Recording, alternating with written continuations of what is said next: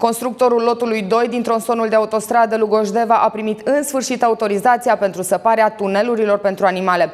Deși lucrările la restul sectorului de șosea rapidă au început deja de câteva luni, secțiunea cu tuneluri nu a putut fi atacată pentru că lipsea acest document. Din informațiile primite de la compania de drumuri pentru operațiunile de construire a galeriilor a fost contractată o firmă specializată din Bosnia-Herzegovina.